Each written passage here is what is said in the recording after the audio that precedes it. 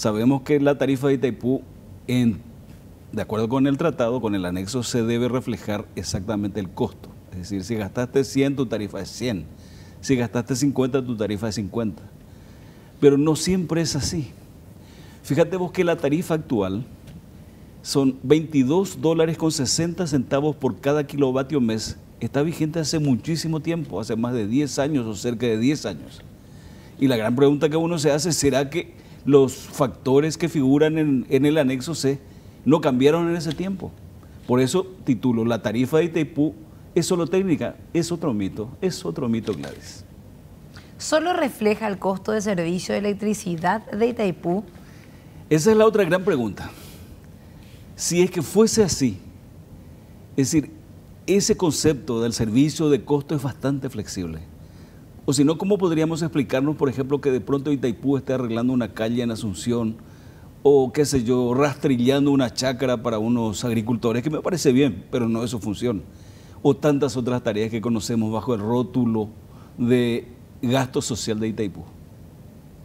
Luego, no es solamente lo que se relaciona con la producción de energía. ¿A vos qué te parece, Gladys? Estoy de acuerdo. Realmente em, la tarifa en sí o el costo en sí que se fue cambiando y que ya nos demostraron es muy importante en este momento que se está por analizar y entender de pronto parece un poco complicado, pero en realidad cuando nos presentas de esta manera con preguntas y respuestas y reflexionando en voz alta, mm.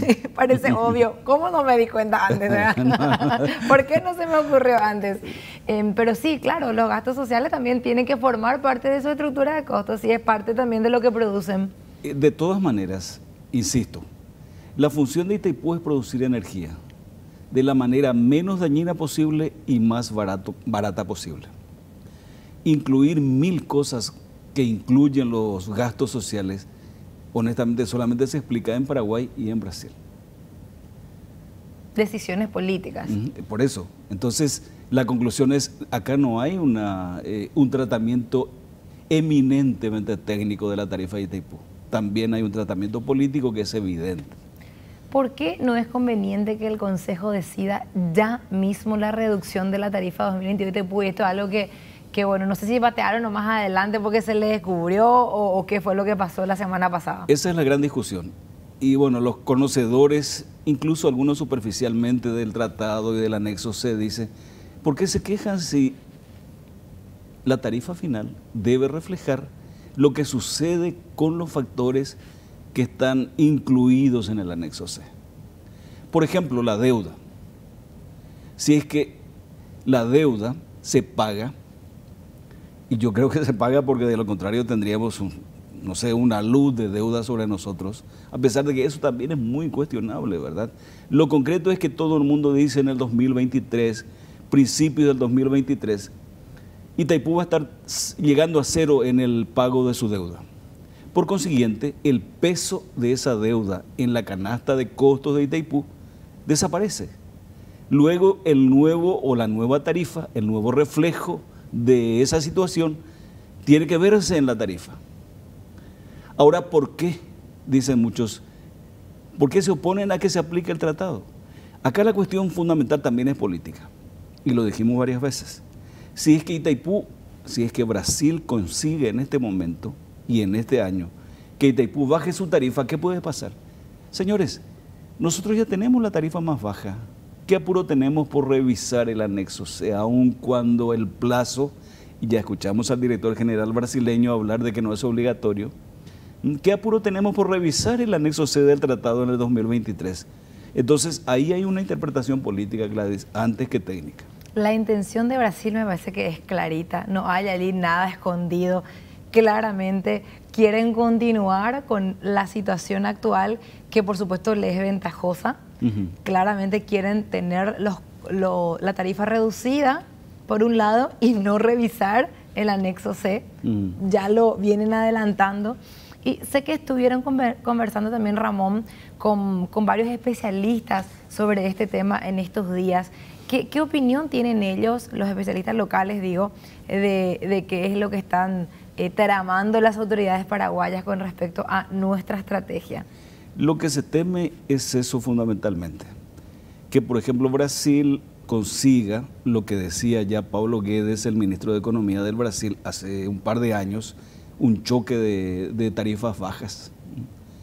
Y con mayor razón, hoy Brasil está en una crisis tremenda, también nosotros, ¿verdad?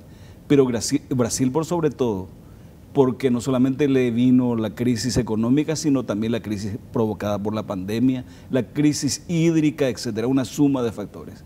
Luego, ellos no quieren saber absolutamente nada de mantener la tarifa en su nivel actual, como se leyó en los trabajos que hicieron los grupos técnicos de apoyo de la comisión negociadora que creó el gobierno de Mario Audo, tampoco de una tarifa intermedia. Quieren que se aplique el anexo C.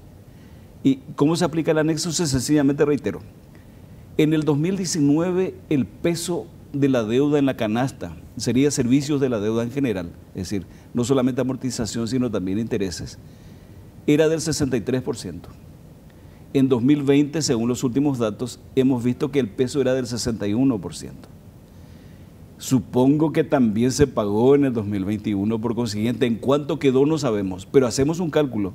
Si entre el 2019 y el 2020 la binacional pagó 1.700 millones de dólares aproximadamente en concepto de, deuda. ¿Por qué no hacemos un cálculo parecido, una estimación? En 2021 se habrá pagado un monto parecido. Luego de ese costo que ronda hoy los 3.300 millones de dólares, hay que restarle 1.700 millones y queda el costo de la deuda, el peso de la deuda en la canasta de costos de Itaipú. De de ahí que se proyecta y que se estima que ya se estaría terminando de pagar. ¿Cómo, queda, Ramón, eh, la, famosa deuda espuria, que esta que se, está terminando de pagar?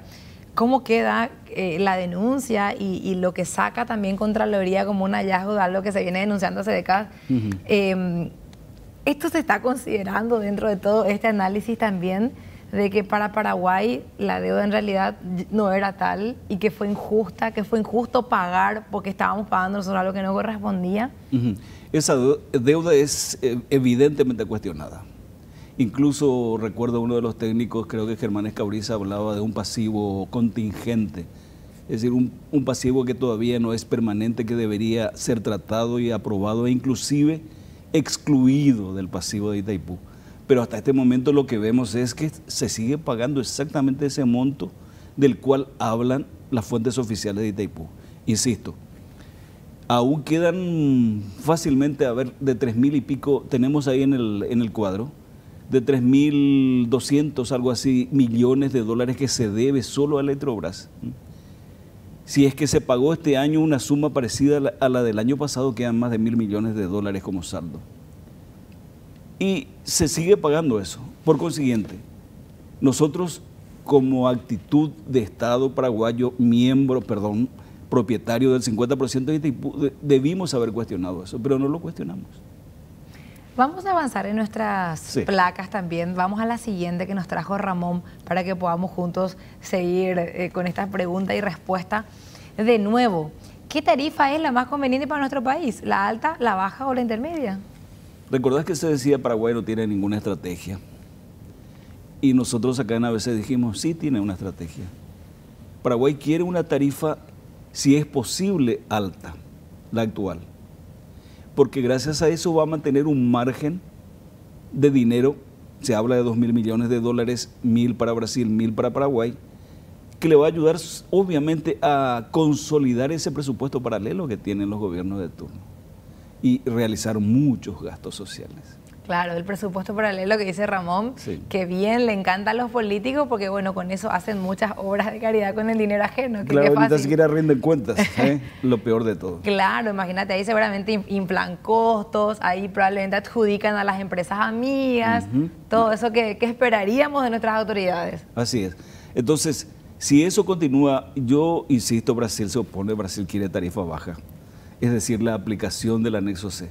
Si es que desaparece el 61% del costo de, o del peso de la deuda en la canasta de costo, naturalmente la tarifa va a estar en torno a los 9, 10 dólares en el kilovatio mes. Estoy enfatizando un poquito kilovatio mes porque lo que se hace es facturar sobre una unidad de potencia que se paga mensualmente. En, el siguiente, en la siguiente placa vemos también eh, que, hay otras otros números para compartir con la audiencia, componentes reales del costo de servicio de electricidad en 2020. Esa es la información oficial, está en la memoria de Itaipú, por consiguiente no puede ser refutada. Fíjate vos, servicio de la deuda, 61%. Ese es el peso extraordinario que tiene ese componente dentro de la canasta o dentro del costo de servicio de electricidad de Itaipú, como dice el tratado. Le sigue gastos de explotación, que, es, que son los gastos relacionados, pero genuina y estrictamente con la producción de energía. No llega al 24%. No llega al 24%. Después tenemos, por ejemplo, los otros, como royalties, ¿verdad? Royalties cobran los dos estados. Insistamos, Gladys, que royalty es sencillamente como una suerte de alquiler que paga Itaipú a los propietarios del río Paraná. Es decir, 50% a Brasil, 50, perdón, perdón, es una cantidad mitad y mitad. Mitad Brasil, mitad Paraguay. Ahí estamos consignando una cifra que, ronda los... A ver si podemos subir un poquito más el cuadro, el, siguiente cuadro. ¿Qué, ¿Querés que avancemos el cuadro? Sí, 12,5% es en el porcentaje. Sí. Pero puedo decirte el monto también son 424,2 millones, mil millones de dólares. Esta es nuestra última placa, Ramón. Sí. ¿Y el resarcimiento por cargas de administración y supervisión qué es? Es un concepto bastante tramposo que establece el tratado también que debe pagarse a la ANDE y a Electrobras por realizar esas funciones. Resarcimiento por cargas de administración y supervisión relacionado con Itaipú. Pero la ANDE no realiza ese trabajo. Electrobras no sabemos, pero la ANDE no realiza ese trabajo. Sin embargo, incorpora esa suma que figura ahí anualmente. Entonces, esa es otra carga que tampoco cuestionan los organismos oficiales, incluso ellos quieren mantener y si es posible mejorar ese ingreso. Es otro gasto que hasta este momento no se justifica por más que le venga bien a la ANDE Gladys.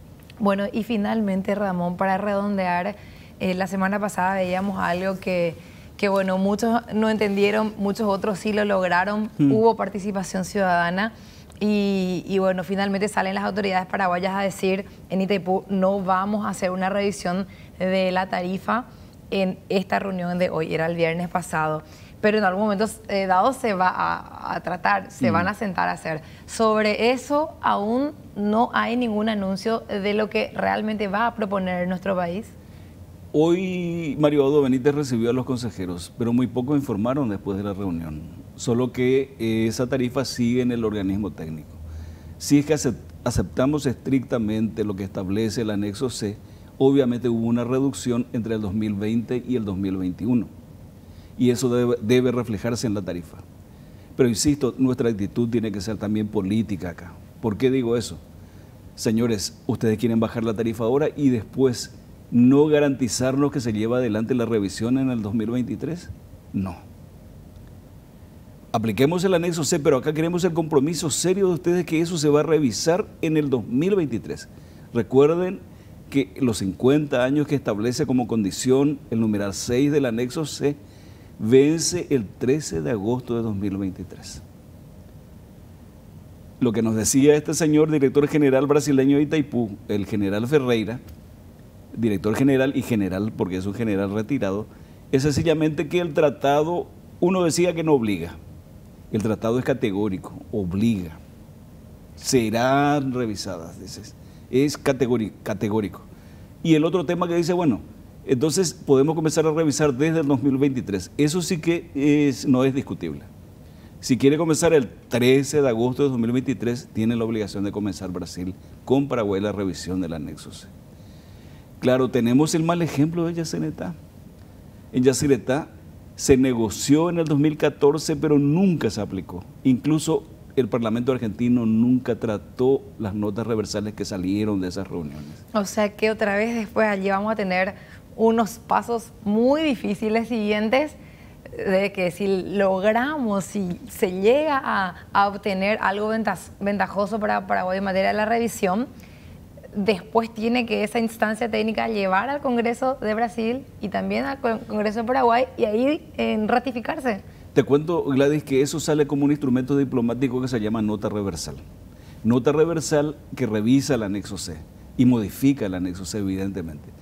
Es, por otra parte, la manera que se utilizó siempre para modificar, limar asperezas, etcétera, de lo escrito y firmado, que son los tratados y los anexos. En este caso, por ejemplo, en Yacireta, hubo un acta Cartes Macri en mayo de 2017, hubo una nota reversal en septiembre de 2017. Acá en Paraguay hubo ley de aprobación, no solamente que sancionaba la ley, sino que también promulgaba la ley. Y en dos oportunidades el Parlamento incluso rechazó intentos de derogar esa, esa ley, o esas leyes porque eran dos leyes. Pero en el Parlamento argentino ni tan siquiera los trataron. Ni se trató. Y pasaron siete años. En el caso de Yacireta vencía en 2014, 40 años en el caso de Yacireta. Hoy estamos siete años después y todo sigue igual. Y para colmo de males, sigue mal. Porque ¿Qué hacemos para obligarle? No, podemos apagarle la luz. ojalá podamos, ojalá podamos, pero no podemos. Bueno, pero ahí, también está la incidencia de lo que decías, la cuestión política. El peso político. El peso político, que, que, bueno, a nivel de gobierno se tiene que seguramente seguir conversando. Ramón, muchísimas gracias. Te leemos en las páginas de energía de ADC Color, nuestro suplemento dominical también.